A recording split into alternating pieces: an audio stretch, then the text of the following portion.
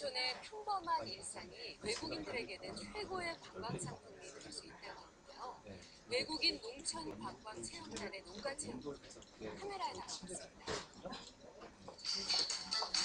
한적한 시골 마을이 왁자지껄 소란스러워졌다. 수학의 기쁨은 기본이요. 전통공예 체험에 나만의 맞춤 공방으로 무한 변신까지. 한 어디까지 가봤니? 정말 맛있겠다. 평범한 농촌이 외국인들의 눈도장 제대로 찍은 사연 지금 시작합니다. 물 맑고 산 깊은 강원도 늦가을의 정시가 한창인데요. 해발 700m 태기산 기슭에 자리 잡은 이곳은 다양한 체험 프로그램으로 유명한 산책 마을인들의요. 먼 길 달려온 체험객들이 속속 도착하는 가운데 아라 인솔자들의 소개 멘트가 좀 중국 아니야?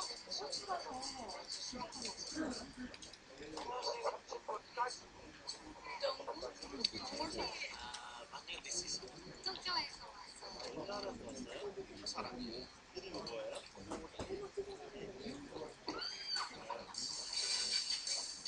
국적 불문 나이 불문 그야말로 다국적 체험단들이다. 브랄트윈이 외국인 체험단은 그 우리나라 아름다운 경관과 농어촌의 생활 문화, 전통 문화를 외국인에 소개하고 또 농어촌 체험 관광의 글로벌 방안이 공동교류 활성화를 위해서 기획된 프로그램입니다. 금강산도 식후경 일단 가마솥밥 만들기에 도전하는데 첫 번째 미션은 장작불 떼기. 하하 만만치가 않은데요. 아, 나 이거 긁었지? 어느새 가마솥에 김이 모락모락 피어오르고 곤드레밥이 맛있게도 완성된다. 저, 그, 도적표 하나만. 기대 반 호기심 반 한국의 시골에서 맛보는 첫 번째 식사가 시작된다. 나물은 비벼야 제맛이 나고 음식은 나눠 먹어야 그 맛이 배가 된다고 했던가? 형님 먼저 아우 먼저 서로에 대한 마음도 절로 깊어지는 시골 밥상이다. 하지만 한국 나물이 조금 거칠게 느껴질 만도. 안 돼, 왜 쳐? 까끌까끌한 입맛 알려주는 데는 이게 최고 구수한 냄새와 함께 된장국 납시오 원래 국물은 원샷이 아니더래요 이때 뭔가 제대로 먹을 줄 아는 외국인이 도착된다 나물로 야무지게 한쌈 싸는데 호호 큰 침도 다 돌아 너무 좋아해서 이런 체험만 하면 좋겠어요. 그렇게 쓱싹쓱싹 비우다 보니 그릇들은 어느새 바닥을 보이고 네? 밥과 함께 담긴 건 넉넉한 시골 음식 아, 예. 나무를 지원받고 굉장히 좋아하는 것 같아요. 여기서 끝이 아니다 또 다른 별미 타임 와 맛있겠다.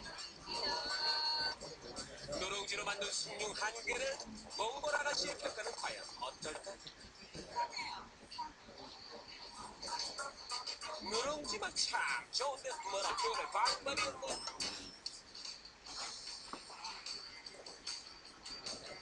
강원도의 청정 밥상을 물린 뒤 잠깐의 휴식 시간 맑은 공기를 마시며 여유를 누려보는데 가장 한국적인 산촌의 풍경인 추억과 함께 가슴에 새겨졌다.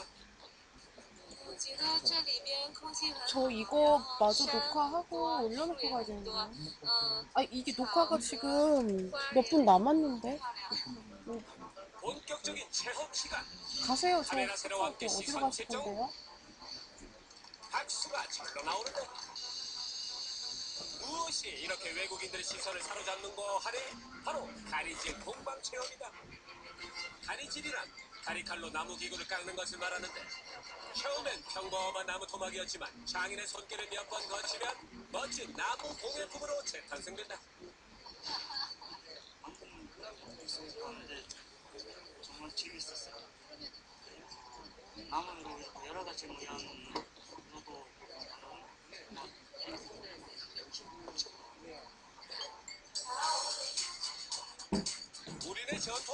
목공예를 봤으니 이번엔 직접 체험해볼 차례. 각자의 개성을 담아서 신중하게 목공예에 도전해보는데 짜잔! 나만의 작품 완성이요! 이번엔 야외 체험이다. 트랙터를 타고 시골길을 달리는 것도 색다른 경험. 그 어떤 오픈카가 이 재미를 대신하랴. 그렇게 도착한 곳에서 받아든 것은 바로 호미.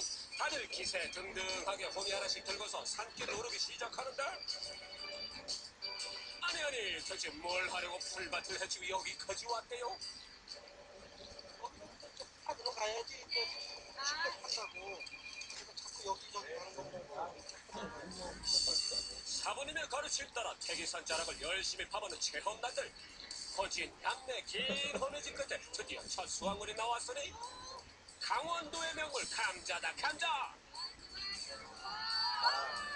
나오는 감자버스! 씨알 굵은 감자가 봉지 안에 가득한데 바로 이때 산삼이라도 캔듯 의기양양 보기만 해도 흐뭇한 웃음이 철철로 나온다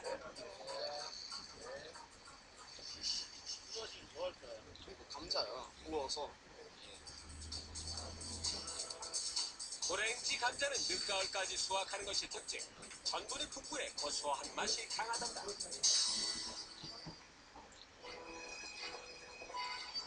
그날 밤 감자밭에서의 잊지 못할 추억과 함께 모닥불이 타닥 타닥 타오르는데 낮에 캔 전리품들도 맛있게 익어가고 있다. 옥수수에 감자까지 이게 바로 강원도가 키워낸 자연의 맛. 그 어떤 별미가 이 맛을 따른다.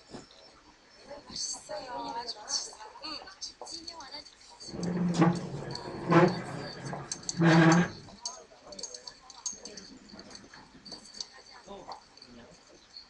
자연의 아버지고 이거 이거 지금 이것도 받아보고 그래서 어, 이번에 이게 재밌어요. 그래서 다시 오고 싶어요. 평범한 시골 마을이 외국인들의 눈길 발길 붙잡고 입맛까지 확 사로잡았다. 우리 전통 문화를 외국에 알리고 농가 소득도 올리는 일석이조의 현장. 농촌 체험 관광의 국제화를 기대해본다. 강원도 흥성 산채마을은 지난 봄 한국을 대표하는 농어촌 관광 명소로 선정되기도 했고요. 한국의 넉넉한 시골 인심과 아름다운 풍경이 외국인들의 가슴에 좋은 기억으로 오래오래 있게 기대해보겠습니다. KTV 네트워크 지역입니다. 다음 주에도 지역의 다양한 소식들을 찾아뵙겠습니다. 많은 기대와 관심 부탁드립니다.